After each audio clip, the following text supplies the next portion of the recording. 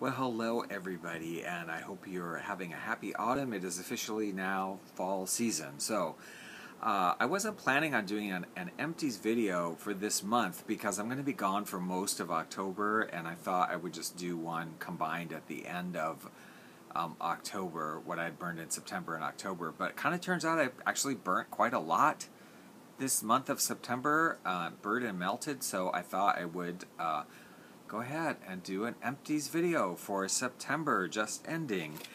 And uh, we're going to start out by showing you first this, not an empties, but something totally full that I just got today, but I have to share it with you because it's so freaking cute.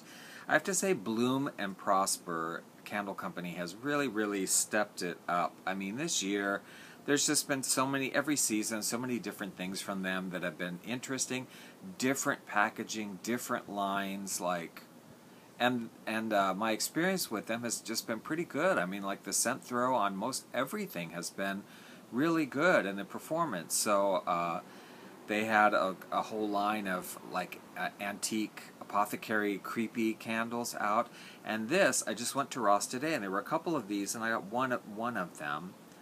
Laveau Mysterious Curiosities Vampire Bat.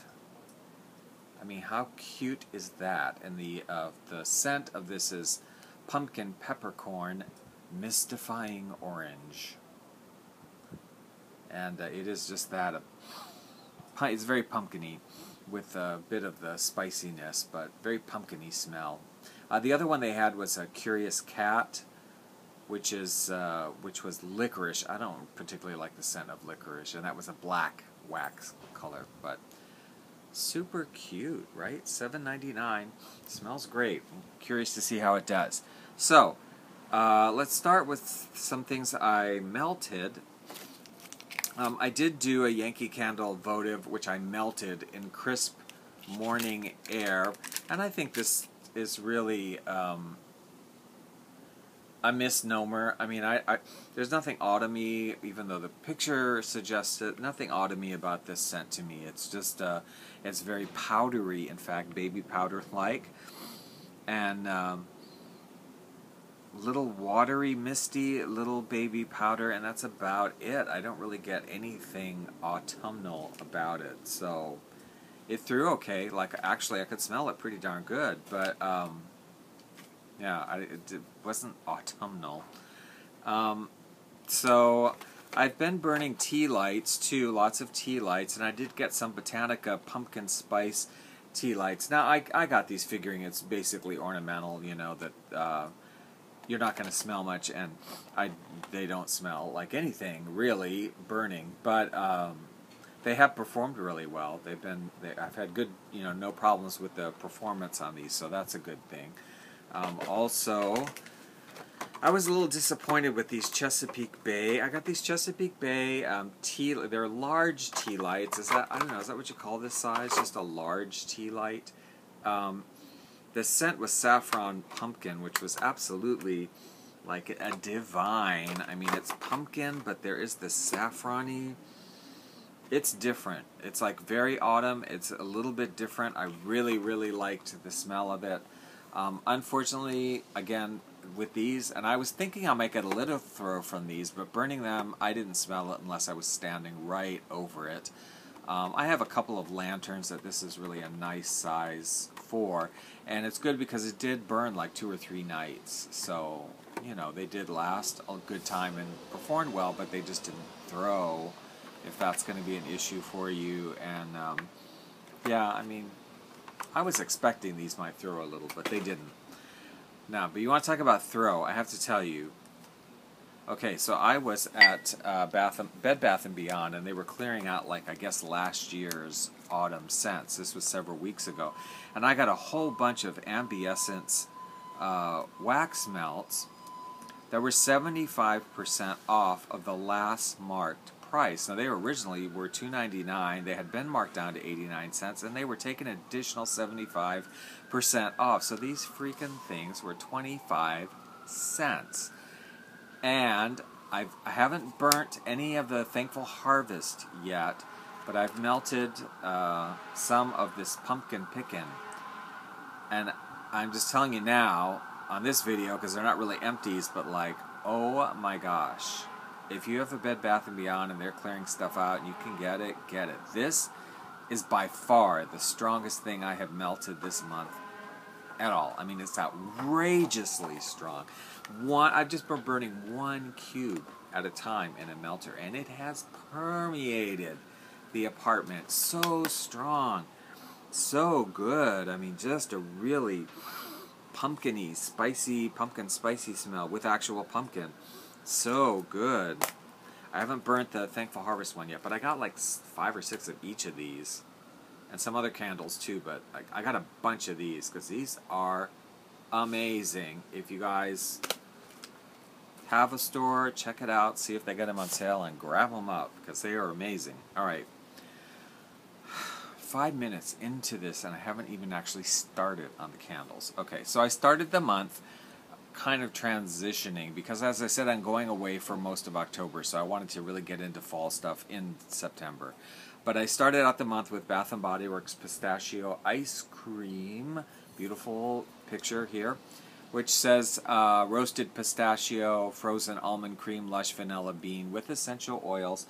This one was it's kind of like I don't know about ice cream. I mean, it's just sort of like an. It reminds me of some other almond vanilla kind of candles that they've done before. Just to me, I don't know the ice cream. I guess maybe a little creaminess to it, but it was good, and it I didn't have any performance issues with it. I melted it at the end, which is why the wicks are all over the place. Uh, but it was. Uh, not the strongest. I'm gonna say maybe a six on throw. Like I could smell it, but it wasn't as strong as I would have liked it to be. Um, now this other candle here from White Barn, Woodland. Dude, I really liked this candle. I mean, it was super nice. Woodland bark, water mint, verbena sprigs with essential oils. This was strong. Okay, it was like an eight. I mean, it threw really well, and it just was such a good like woodsy, woodsy kind of scent. But it had a little bit of of um, what is it in there? The verbena, yeah, the mint. There's a little bit of like mintiness, light mintiness with a woodsy scent. This was so nice. I would totally, totally get this again. And great transitional scent if you're into transitioning. If you have to transition, I mean, I don't have to really transition. Like, I don't get it. Just like start burning fall stuff. But that's a definitely one a good in between. You know, could go in between. Uh, another White Barn, and I do have stuff other than Bath and Body Works here. White Barn Vanilla Bourbon Peach. This one dude, this one super strong. I mean, this was like this was one of those like I think if I'd have burnt, and they would have smelled good together. But if I'd have if I'd have melted pumpkin picking and vanilla bourbon peach, which would have smelled good together, but I think the neighbors two blocks away would have been able to smell it coming out of my house. Super strong, definitely like a baked vanilla. I don't get any bakery in it, but baked vanilla with with that bourbon note to it. Uh, vanilla bourbon, lush white peach, sugared musk, essential oils. This was a good one too, and I didn't have any issues with it. Great throw. Um, okay, now I did one in the uh, feathers line.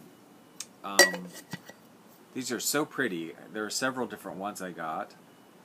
Um, this was Bloom and Prosper. Okay, now I have burnt a couple of others in this line um, that did really well, that I had no problems with. This one, I like the owl on it. It's called Sunset Woods.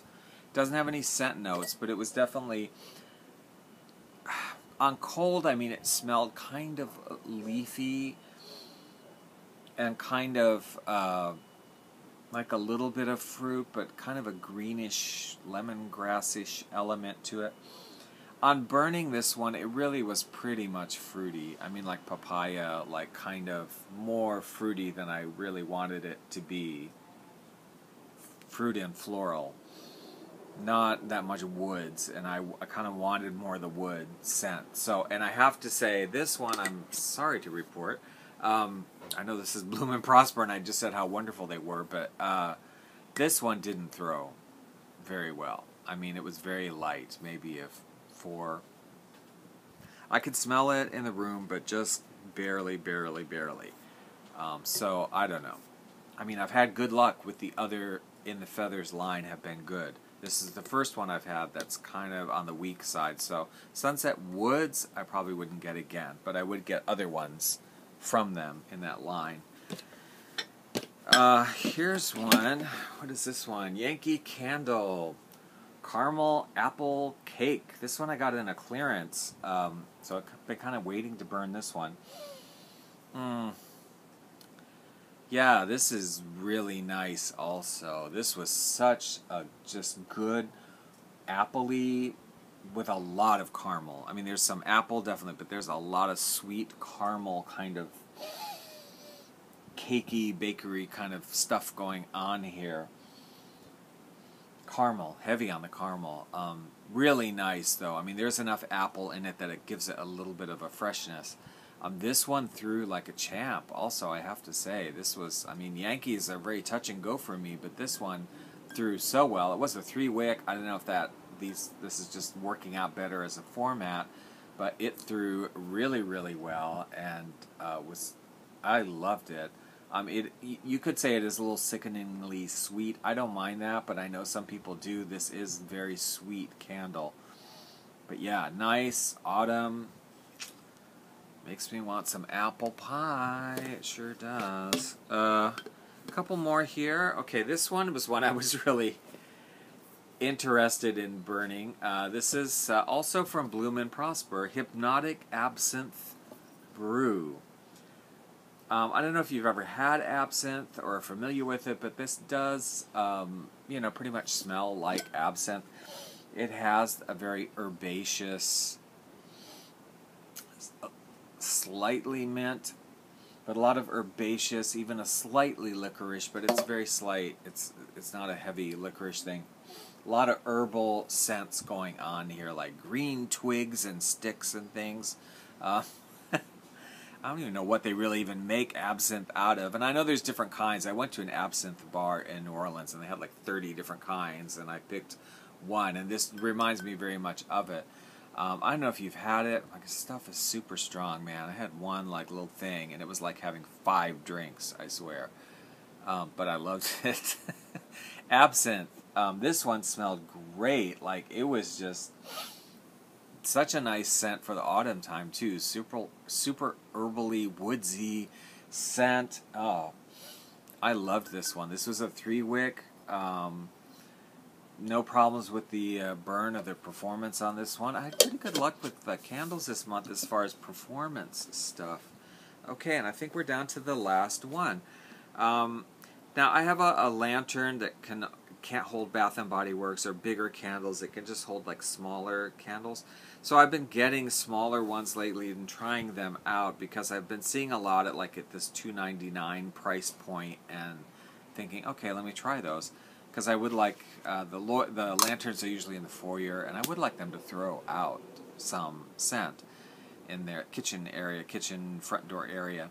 Uh, this one, I try. I smelled some different ones. Again, Bloom and Prosper has put out a line of uh, you know autumn ones. That They all have pumpkin, I think, and there's pumpkin and cream that smells really like coffee. There's uh, pumpkin and berry and pumpkin and pumpkin and something else.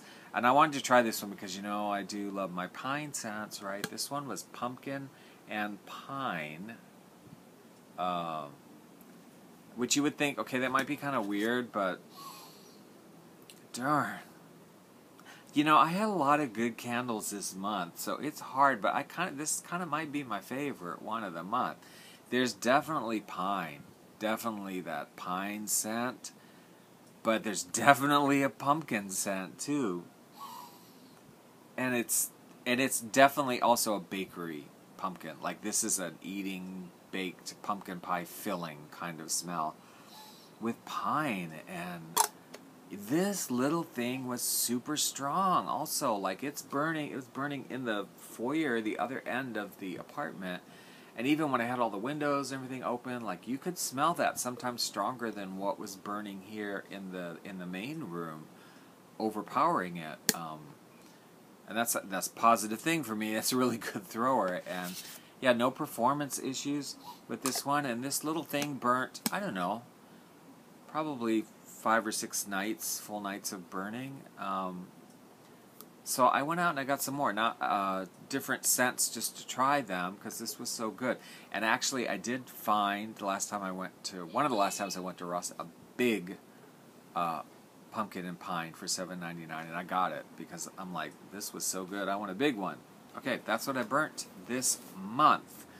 So let me know what you burnt, what you got planned. I'm not I'm not going to be here for most of October. I'm going on a cruise, well, part a trip and a cruise to um, Tahiti. I'm going to be staying at Tahiti for like five nights, and then I'm going on this 14 day cruise to throughout the Tahitian Islands and the Cook Islands and the Marquesas, and I'm coming back here on Halloween Day morning. So um, yeah, so I'm not going to be burning that much. I leave like in another week and a few days. So.